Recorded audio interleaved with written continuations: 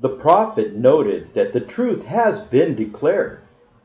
I am not hidden in what is high or low, nor in the earth, nor in the skies, nor on the throne. This is certainty, O beloved. I am hidden in the heart of the faithful. If you seek me, seek in those hearts.